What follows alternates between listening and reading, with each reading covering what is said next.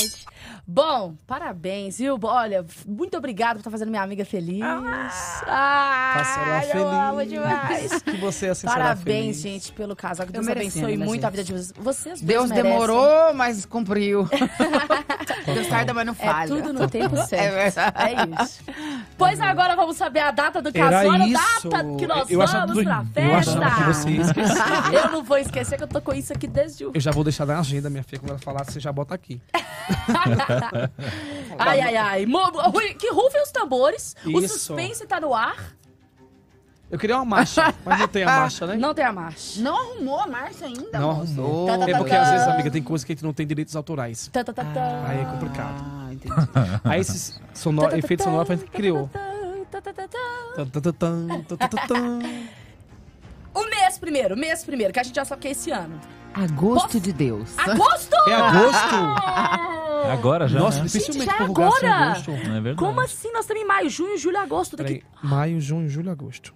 Eita, tá perto. É, não, pra um casamento, é, é, está sendo difícil, é um desafio. Caraca! É, porque, tipo, os lugares já não tem. As pessoas, elas se programam muito pra casar. E data, e não sei o que lá. Vocês e estão olhando vestido, já estão olhando tudo. Tudo. Ai, que delícia! Caraca, é muito gostoso essa fase. A Sofia tava comigo antes de ontem, né? Uhum. Olhando os vestidos. Ela, eu quero, eu quero Ah. assim, eu quero assado, bababá, babá, tudo. Hum, que é um vestidinho também. E finalmente o dia. Juntos. 26. Eita, 26 de de agosto. agosto! Um sábado. Eita! É no Será sábado. no sábado, será no sábado. Porque, em geral, a, a artista a gente pode o dia que a gente quiser, né? Aham. Mas pessoas normais, elas trabalham. Trabalham.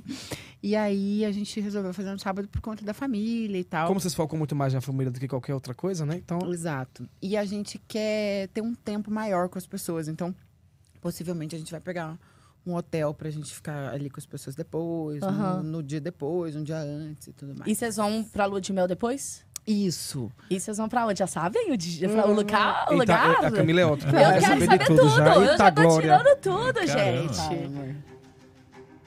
Fala, você agora. Deixa eu chutar, Nossa, deixa eu né? chutar. Maldivas. Acho que eles já batido. Errou. Grécia. Tailândia. Batido. Aí, acertou. Grécia? Ah! Grécia? A gente ia pro Japão. Japão. Diferente, né? Ah, eu acho massa o Japão. Mas é, a gente descobriu que as cerejeiras é só em abril. É porque eu tinha um sonho de ir pro Japão. Sabe aquela árvore que tem aquelas folhas rosas, assim? Sim. Tinha o sonho de encontrar no Japão algum gramadão verde com uma árvore de, de folhas rosas, assim.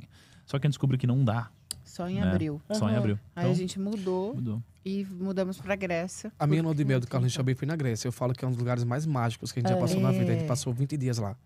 A gente foi naquele hotel chique, Cabo, Cabo, Cabo d'Água. Aham, Cabo, Cabo conhece, né? Que é maravilhoso. A gente foi pra... Aí ficou, como é aquele lugar mais badalado? São dois lugares que a Grécia meio que se divide. Então já me dá todas as dicas? Ó, Mykonos e qual é a outra? É Mykonos e... Ai, meu Deus, veio a falha aqui. É, eu também nunca É um fui. lugar que é muito badalado e o outro que é mais tranquilo. Sei. Atenas. Santorini. Santorini. Boa. Santorini e Mykonos. É muito Ótimo, maravilhoso. você já me passa as dicas, você já me passa as Eu perguntas. falo que é um me passa Total. tudo. Inclusive, o hotel que a gente ficou, já posso Então, resolver esse negócio aí. já me passa tudo. Ó, a gente sabe o quanto que é importante, né? O quanto que vocês também servem de exemplo para milhares de pessoas. O Tiago no seu nicho, no seu ciclo. E a Maíra também. E, sobretudo, vem com essa responsabilidade agora de um casal que surgiu nessa intensidade, nessa loucura, talvez. E quem vive essa loucura são vocês. E cada um sabe o preço, a dor e a Total. delícia de viver cada coisa que a gente escolhe, cada coisa que a gente decide. Então, do- desse lado de cá, não só como amigo, como telespectador da vida de vocês, porque eu sou curioso também, né? Quando acontece o babadinho, eu corro lá pra ver. Mas eu tô torcendo, principalmente, antes de qualquer curiosidade, antes de qualquer energia, eu acho que. Acho não, desejo que vocês sejam muito felizes, tenham cada vez mais sabedoria, cada vez mais amor, cada vez mais res- respeito. É lindo ver o propósito de vocês juntos. É, as pessoas se questionam por que, que vocês se, se uniram. Eu acho que o nosso pod foi a resposta para tanta pergunta que, que o público, que o Brasil tinha E um aprendizado gigantesco. e um aprendizado gigantesco. Então, que vocês obrigada. possam servir de exemplo, cada um no seu nicho, mas também como casal. Vocês Amém. possam ser espelho para milhares de casais nesse Brasil. E só felicidade e até o casamento em nome de Jesus, né, minha filha? Vai chamar. Se não chamar depois dessa declaração, né, gente? Vai ficar feio. Tô brincando. Eu Muito sei o quanto que casamento é um- uma data muito importante. A gente só quer quem a gente ama mesmo por perto, Sim. né, amiga? É verdade. Gente, parabéns, viu? E muito obrigada mesmo por estar com a gente. Faço das palavras do Lucas as minhas. Amém. Muito obrigado, gente, convidar a gente, abrir espaço pra gente conversar e de um jeito tão respeitoso, assim, acima de tudo.